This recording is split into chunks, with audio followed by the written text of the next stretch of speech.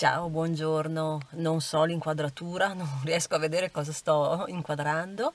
Comunque sono arrivato, ho parcheggiato la macchinina ed ora mi, mi avvicino all'entrata del Festival dell'Handmade che apre alle 10 e vi porto con me, vi faccio vedere qualche bancarella.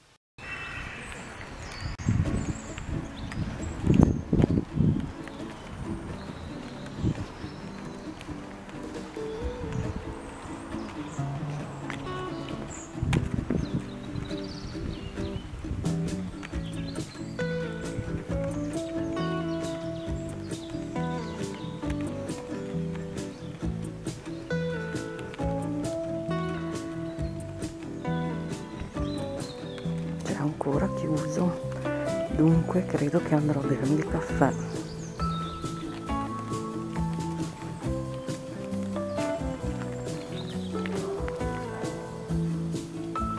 Facciamo una deviazione e andiamo a trovare un'amica che è con la bancherella su Ponte Castelvecchio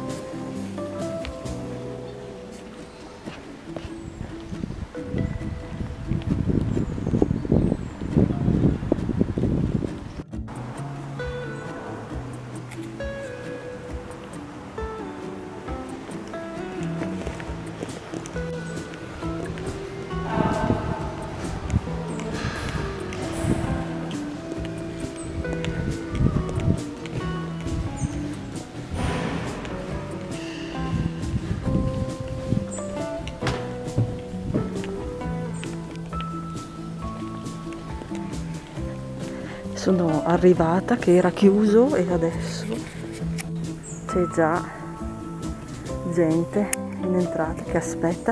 D'altronde oggi per fortuna il tempo è bello e logicamente gli ingressi sono contingentati perché per il covid c'è la guardia giurata all'entrata che misura la febbre e ovviamente può entrare un massimo di dovrebbero essere 40 persone su 40, con 40 espositori all'interno del padiglione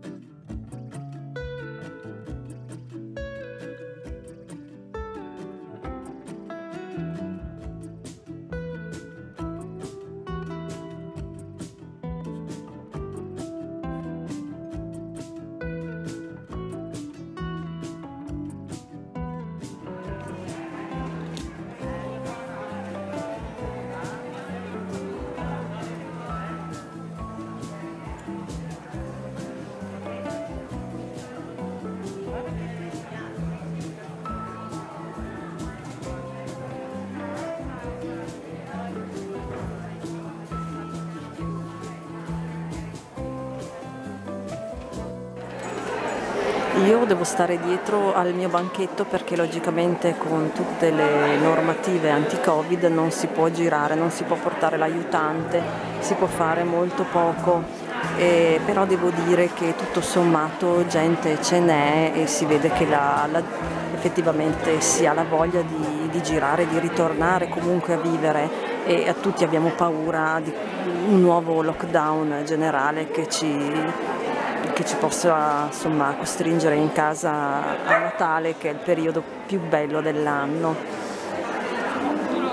È lunedì, sono in studio, è lunedì pomeriggio precisamente, e mm, avete visto le immagini del Festival dell'Handmade eh, che si è tenuto appunto questo weekend il Festival dell'Handmade si svolge nella mia città, Verona, presso l'Arsenale austriaco e devo dire che mm,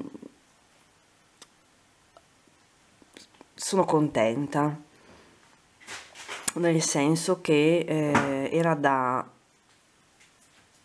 febbraio che non partecipavo a questo evento, è un evento che si svolge, che viene organizzato in a San Valentino, a primavera e a Natale. Poi ci sono delle edizioni extra che l'organizzatrice fa e cambiano un po' e possono essere magari a giugno per uno shopping d'estate oppure a settembre eh, o a ottobre per un, uh, un incontro appunto di shopping autunnale.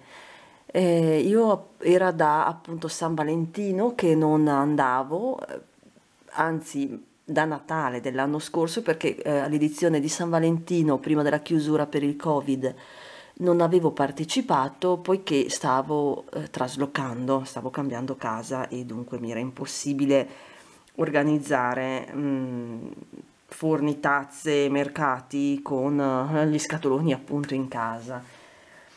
Vi dicevo che eh, nonostante le tragedie, perché sono tragedie che in corso, tragedie per il Covid, sono contenta per quanto possibile perché ehm, l'affetto che ho ricevuto dalle clienti abituali e dalle persone nuove che hanno visto i miei prodotti è stato mi ha pagato il momento è molto buio è davvero difficile e sinceramente uno mm, cosa vai a pensare? Che ha, è vero che si ha voglia di svagarsi, però tanta gente ha perso il lavoro, insomma ci sono un sacco di difficoltà, c'è la paura di, di, che ci hanno inculcato, oltre a quella effettivamente anche reale di, di girare, di prendere questo virus. Però nonostante appunto queste avversità, la gente ha provato ad uscire, è uscita, ha fatto dei piccoli acquisti, eh, nonostante Natale sia lontano, nonostante i soldi siano quello che sono. E la gente ha dimostrato, eh, venendo anche a questo festival, avvicinandosi alla bancarella per fare quattro chiacchiere, che si ha voglia di tornare alla normalità. E perché vi dico questo? Perché per me, nonostante sempre si va avanti, si fa, quest'estate si è potuto insomma fare altri mercatini, però è stato un anno difficile perché è stato un anno veramente da dover mettersi alla prova per vedere quanta resistenza hai. Mm, perché gli eventi non sono quelli dell'anno scorso, perché eh, anche l'approccio di tante persone non è come quello di prima della pandemia. Invece devo dire che questo fine settimana ho respirato davvero un briciolo della normalità che era. Adesso io penso che sia veramente assurdo dover parlare di queste cose e dover confrontarsi con queste cose. Mm, e non mi va sinceramente neanche di parlare di virus perché in giro, e io non ne posso più, si parla solo di quello come se si fossero annullati tutti gli altri argomenti. Non si parla più di moda, di libri, del più e del meno, no. solo una grandissima ansia generalizzata su anche giustificata sotto certi aspetti sulle sorti di questo virus, per carità. Non dico di essere, non, non voglio essere superficiale, è anche giusto che comunque se ne parli, però forse ci sta un po' sfuggendo di mano perché si parla solo di quello. Mm, anche in altre occasioni, in altri mercati ho fatto due giorni dove si è parlato due giorni di virus. Comunque vabbè, per me il discorso virus si chiude qui e voglio solo dire appunto che comunque sono stata contenta di questi due giorni perché il Festival dell'Handmade è sempre un bel evento con cose ricercate che vale la pena di vedere e di partecipare come espositori se si ha la fortuna di venire selezionati.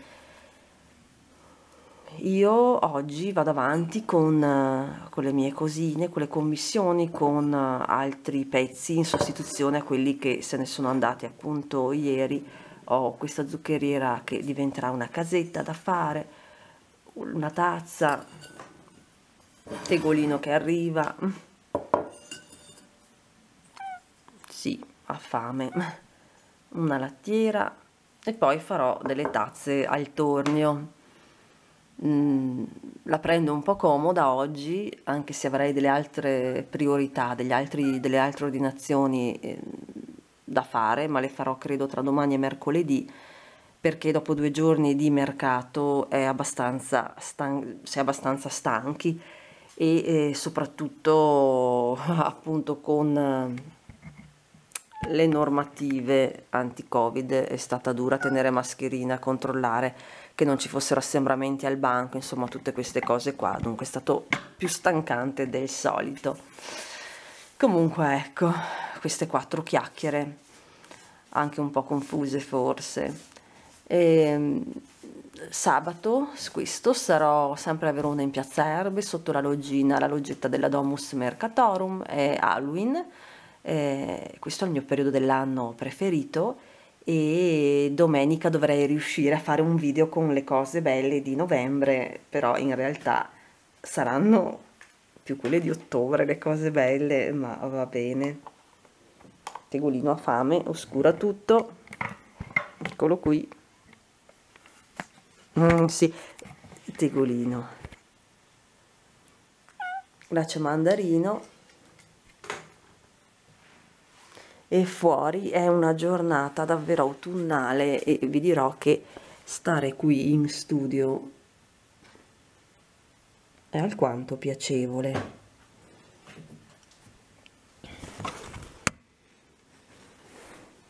Piove fuori, piove, piove, piove, c'è molto grigio.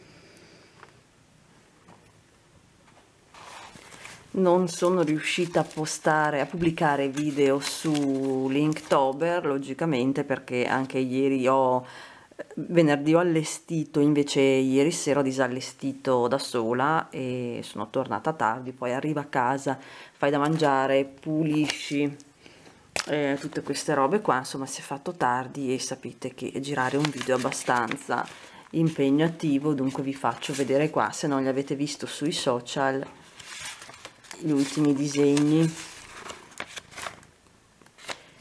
Comunque nonostante tutto io non so se si faranno mercati a Natale se si riuscirà se ci saranno ulteriori strette o che cos'altro ma io non voglio mollare, io voglio continuare a disegnare, a dipingere, a fare tazzine, anche se si dovesse stare chiusi ancora fino, speriamo di no, a marzo dell'anno prossimo.